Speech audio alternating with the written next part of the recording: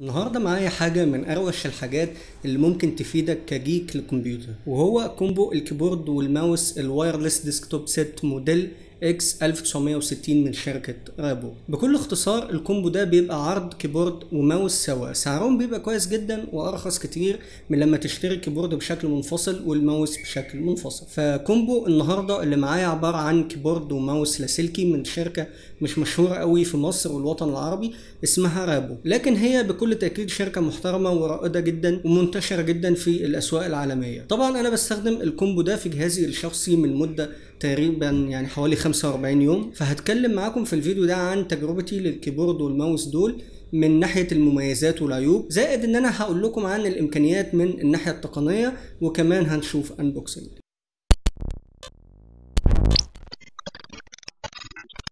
ال combo بيجي في box واحد زي ما أنتم شايفين موضح عليه صورة الكيبورد والماوس وعليه sticker دعم الحروف العربية. الجنب ده فيه شوية معلومات عن دعم ال combo لنظام تشغيل ويندوز وماك وطبعا لينوكس وشوية معلومات تقنية عن ال combo. نيجي بقى نفتح ال box. أول شيء في المقدمة هي الكيبورد ومعاها user documentation وبطاريتين من حجم double A اللي بنسميها الحجارة القلم وبعدين الماوس زي ما أنتم شايفين كده. أهم اللي بيميز ال combo ده في المجمل لونه الأسود ال matte. يعني لو ال setup بتاعك يعني بيغلب عليه اللون الأسود فال combo ده هيكون إضافة مميزة جدا لل setup بتاعك. طبعا أول حاجة حابب أقولها إن ال combo ده يعتبر الوحيد في السوق اللي بيجي معاه بطاريتين واحدة للكيبورد وواحدة للماوس بتكفي سنة كاملة من التشغيل المتواصل للكيبورد والماوس. وطبعا أي بطارية تانية هتكفي سنة وأكتر بفضل التقنية الخاصة بشركة Rapoo في توفير الطاقة. فده يعتبر واحد من أفضل يعني الاختيارات المتاحة ل combo كيبورد وماوس في السوق. نيجي بقى أول حاجة للكيبورد.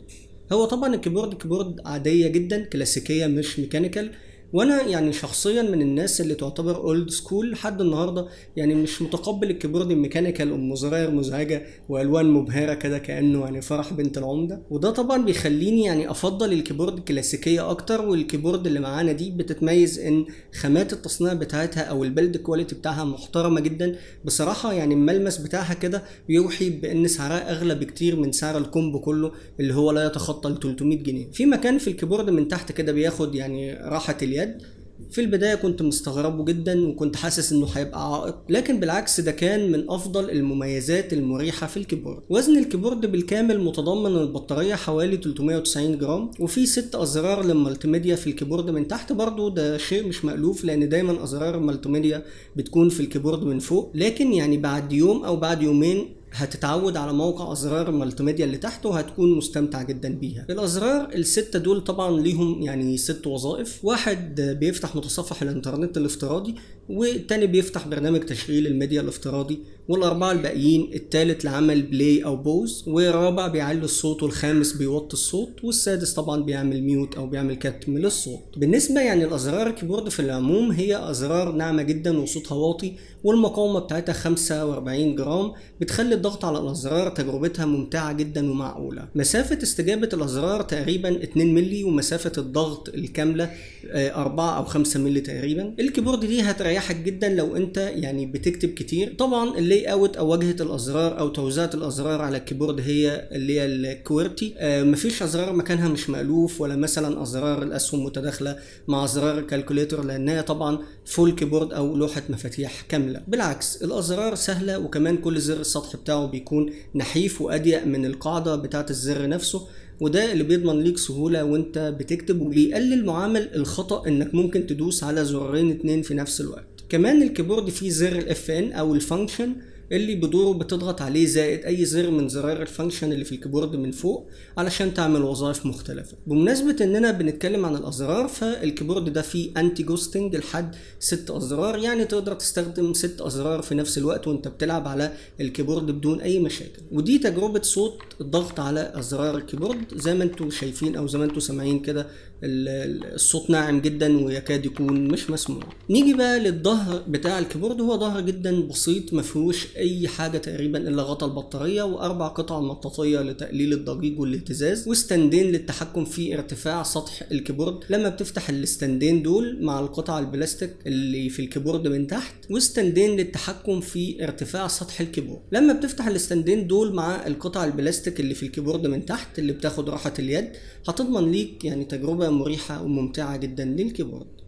نيجي بقى لتاني حاجة وهي الماوس. الماوس طبعا بيشتغل ببطارية واحدة فقط وبتيجي مرفقة مع ال combo وكمان بتكفي الماوس استخدام متواصل لمدة أكتر من سنة بفضل تقنية شركة Rapoo اللي بتخلي استخدام الطاقة بسيط جدا. الماوس من تحت فيه زر التشغيل وإيقاف التشغيل وغطاء البطارية وكمان بيحتوي على ال dongle أو الريسيفر بتاع ال combo واللي بيتوصل من خلال ال USB في الكمبيوتر. الماوس كمان بيدعم تقنية اسمها invisible tracking engine يعني من تحت مش هتلاقي إضاءة ليزر اللي هي معتادة في الماوسات. الماوس للأسف 1000 DPI فقط بس شكله آه انسيابي وتصميمه كلاسيكي بياخد راحة اليد وتجربته كانت ممتعة جدا بالنسبة لي. وزن الماوس بالبطارية لا يتخطى ال 62 جرام تقريبا خفيف جدا. وطبعا بما إنه يعني ماوس كلاسيكي فده معناه إنه بثلاث أزرار اللي هو click يمين و click شمال والبكرة اللي بتعمل scrolling ومدمج معاها ال middle click أو ال click الأوسط. صوت أزرار الماوس هادي جدا وده هيفيدك كتير لو أنت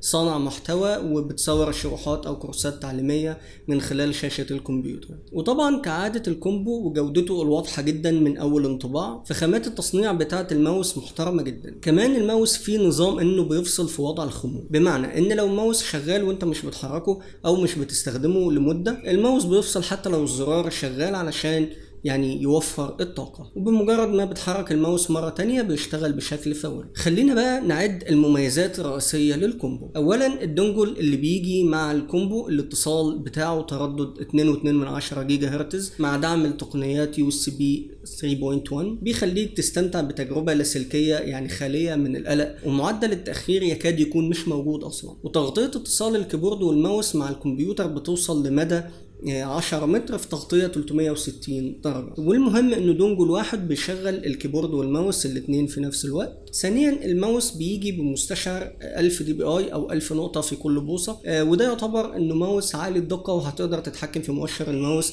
بطريقة سهلة ودقيقة. كمان الماوس invisible optical والضوء بتاعه خفي ثالثا بقى عمر البطارية بتاع ال combo رهيبة بفضل تقنيات شركة Rapoo الموفرة للطاقة واللي بتمتد لسنة أو أكتر من كده. الكيبورد والماوس بتقدر تستخدمهم لمدة بتوصل سنة كاملة من غير ما تحتاج تبدل البطاريات. رابعا وده أهم شيء ال nano receiver أو جهاز الاستقبال بتوصله في ال USB في جهاز الكمبيوتر وبتنساه لأنه مصمم إنه يمسك كويس قوي في port ال USB وكمان حجمه صغير جدا يعني هيخليك توصله وتنساه. ما تقلقش إنه ممكن يضيع في أي لحظة. وطبعا الشيء بالشيء يذكر طالما بنتكلم عن ال USB فلا بد إن نقول إن ال combo متوافق مع نظام Windows من أول Windows XP لحد Windows 11 الجديد. وكمان طبعا متوافق مع أنظمة Linux و Mac وبيشتغل وبيتعرف بشكل تلقائي وبدون الحاجة لأي software خارجي. خامس شيء وده الأهم إن ال combo بيجي معاه بطاريتين واحدة للكيبورد وواحدة للماوس وأعتقد إن ده شيء إضافي بتتميز بيه منتجات شركة Rapoo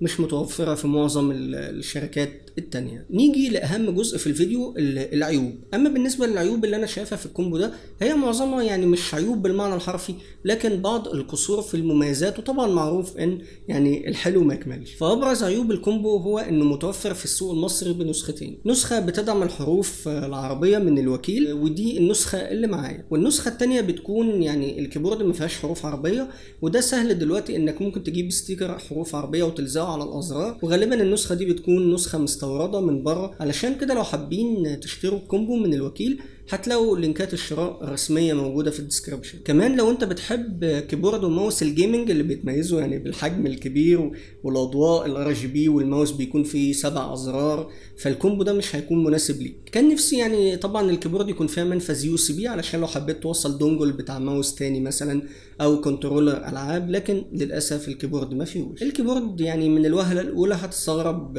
مكان أزرار ال multimedia اللي هي موجودة تحت وهتلاقي نفسك بتدور على الأزرار فوق لكن مع الوقت يعني هتتعود على مكانها اللي موجود في الكيبورد من تحت. أما بالنسبة للسعر وأماكن البيع فأنا اشتريت ال combo ده من موقع سوق دوت كوم بسعر 280 جنيه أو ما يعادل 18 دولار أمريكي. وطبعا ده سعر رخيص جدا على يعني combo كيبورد وماوس بالمواصفات دي. ولو وصلت لحد هنا فأنا محتاج أفكرك يعني يا ريت تعمل like للفيديو وتشترك في القناة لو ما كنتش مشترك وتفعل زر جرس التنبيهات للكل. أشوفكم في فيديو جديد. شكرا جزيلا. السلام عليكم.